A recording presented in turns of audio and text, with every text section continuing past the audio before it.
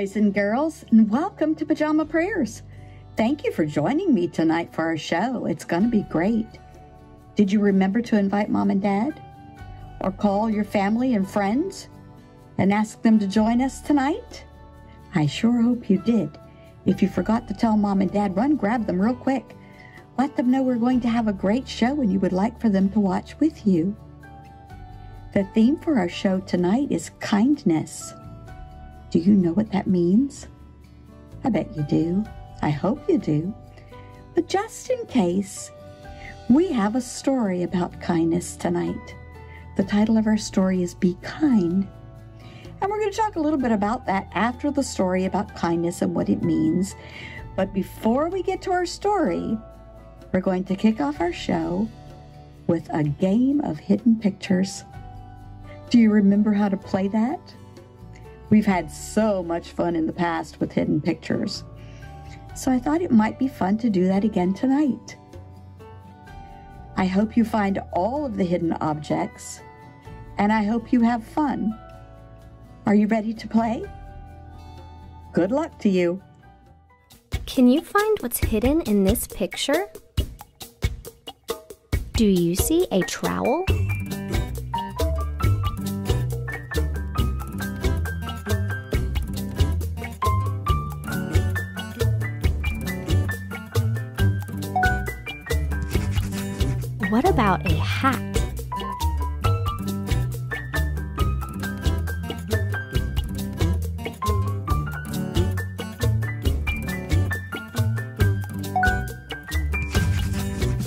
See a crescent moon?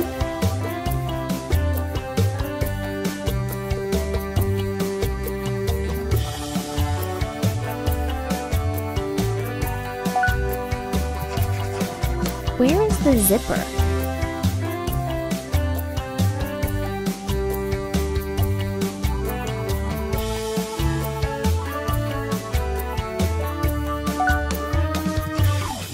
Do you see a heart?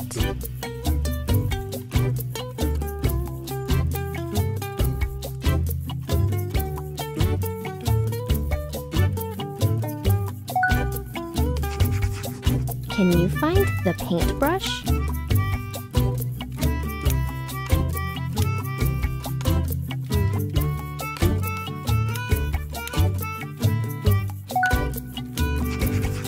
What about a ruler?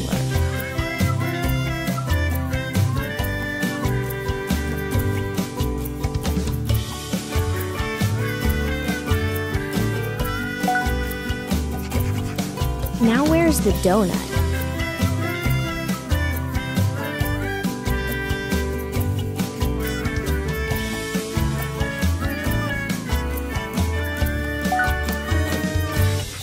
Can you find a belt?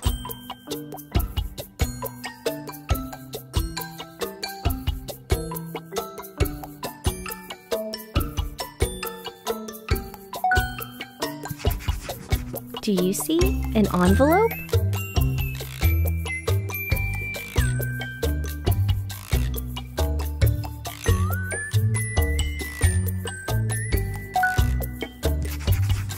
What about an ornament?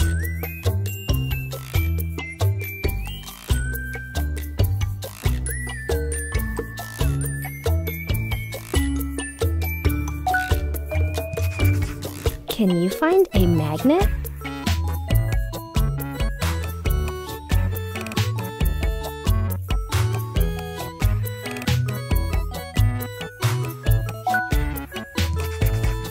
Do you see the kite?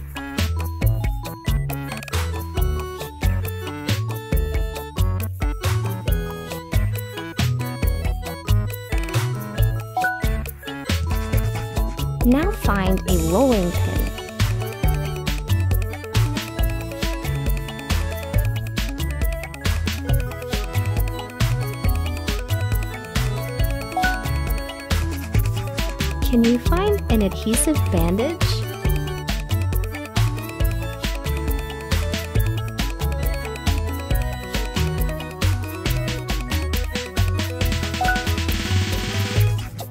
Where is the shell?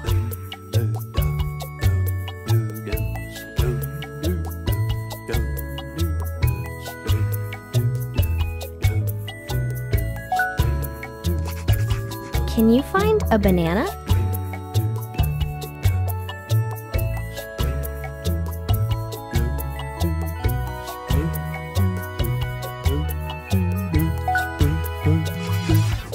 Where is the tooth?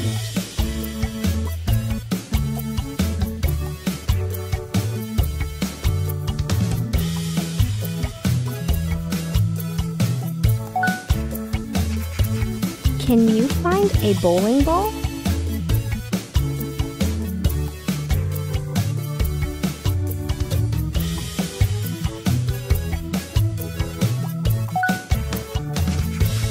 Do you see a pin?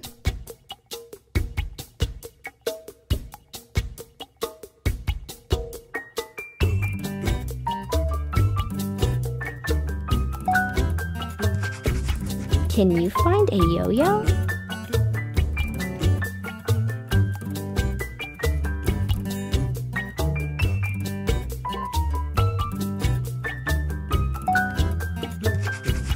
Now find the ring.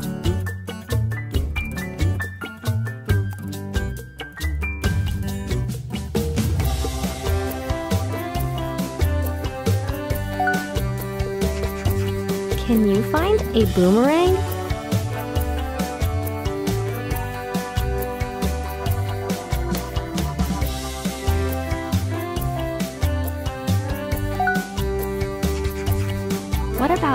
Hockey stick?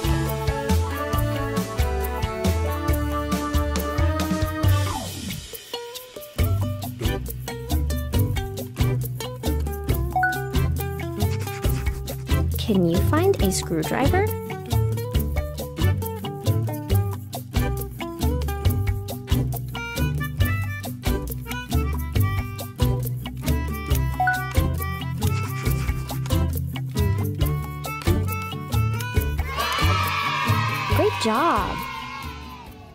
Well, how did you do?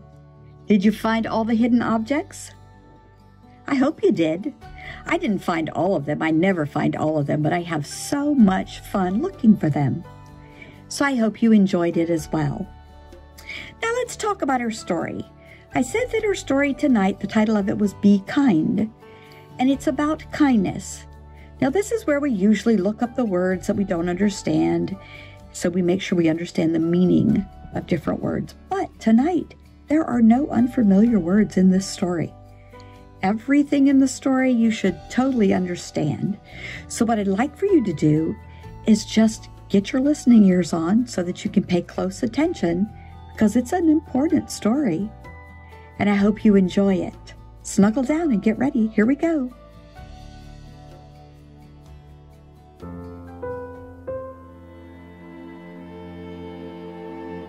Be kind.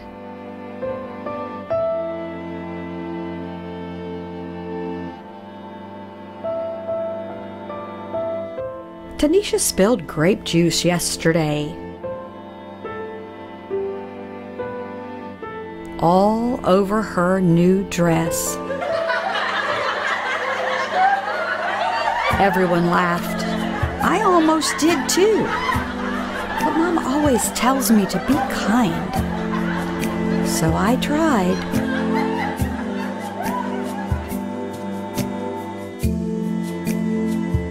I don't think it worked. I said, Purple is my favorite color. I thought Tanisha would smile. But she ran into the hallway instead. When she came back, snack time was over, she put on her art smock and didn't look at anyone.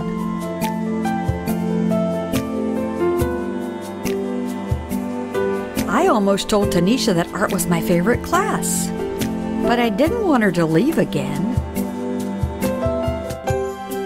So I painted purple splotches and added some green until I had a bunch of beautiful violets.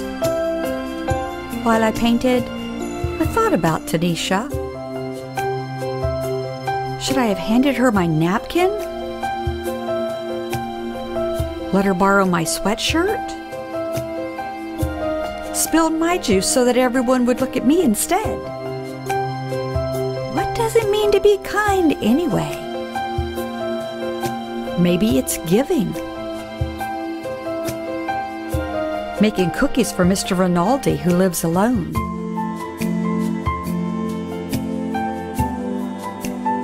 Letting someone with smaller feet have my too tight shoes. Hmm, he might win races in them too. Maybe it's helping. Putting dirty dishes in the sink. Cleaning up after Otis, our class guinea pig. He's a messy eater. Maybe it's paying attention. Telling Desmond I like his blue boots. Asking the new girl to be my partner. Listening to Aunt Franny's stories. Even the ones I've heard before. Being kind should be easy. Like throwing away a wrapper or recycling a bottle. Or saying, thank you. Or bless you. My mom says, the quickest way to be kind is to use people's names. Like, hello, Carla. Or good afternoon, Rabbi Mandelbaum. What's new, Omar? Being kind can be hard too. Even when you know what to do, teaching someone something I'm good at is tricky. Even when I'm patient. And sticking up for someone when other kids aren't kind is really hard. And really scary. Maybe I can't solve Tanisha's grape juice problem. Maybe all I can do is sit by her in art class. And paint this picture for her because I know she likes purple too.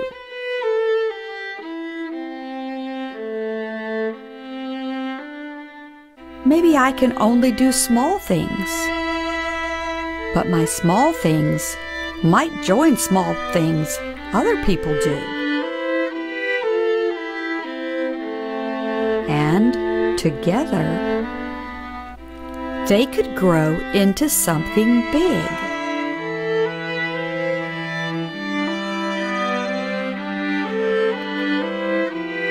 Something really big. So big that all our kindnesses spill out of our school. Spread throughout the town.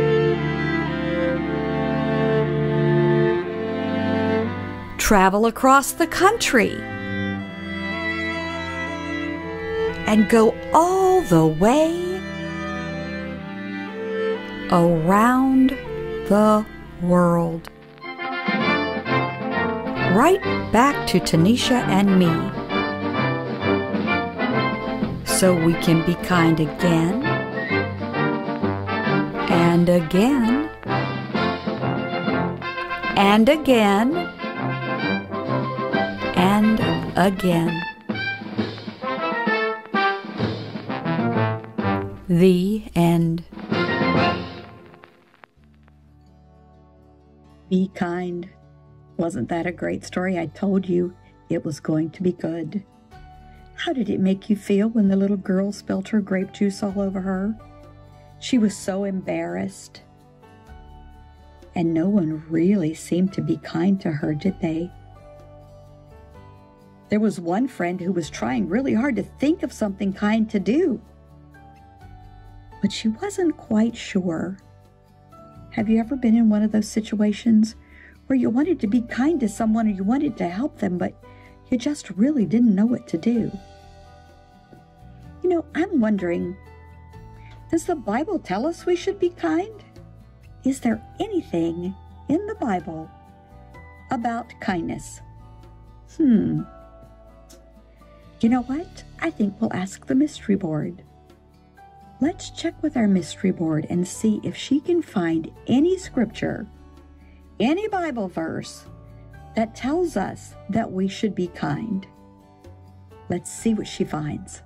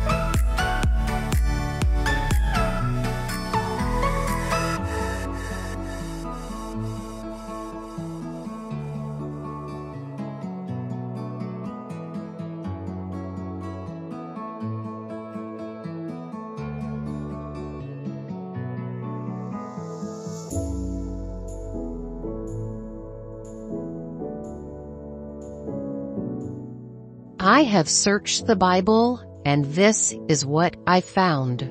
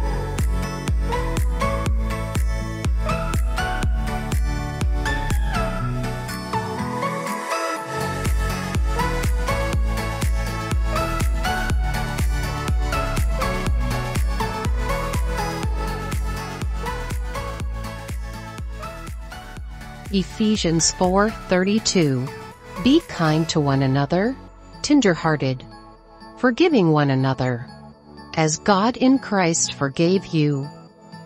Ephesians 4:32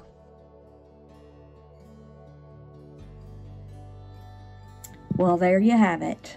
It is in the Bible. The Bible says that we should be kind to each other. I kind of thought that would be in the Bible. Boys and girls, have you ever had anyone that was unkind to you? Have you ever been unkind to someone else? You know, it's not hard to be kind. Saying kind things to someone when they're feeling sad, or just sometimes just a pat on the back, sometimes just sitting next to someone who's feeling lonely is showing kindness. One important way that we can show kindness is by using our words. When we say kind things with our words, like, you are special, or I like that dress you have on, or maybe that new toy looks like so much fun. Things like that are kind things that we say to each other what about when one of our friends gets hurt? We can say, I'm so sorry. And that's a kind way to treat them. And kind words makes the other person feel better. When someone says kind words to me, it brings me joy and gets rid of sadness. So let's do what the Bible says. Let's ask Jesus to help us this week to choose kind words and kind actions to be the kind of friend that He created us to be. And we can change our world with kindness, boys and girls. It's true. I love you to pieces, and I'm so glad you're with me tonight. I hope that you will join me next week again for another story. And I hope that you will invite your friends to join us as well. But we're all out of time for tonight. So turn to someone there with you and say, You are worth more than you know, capable of more than you think, and loved more than you can imagine. Good night.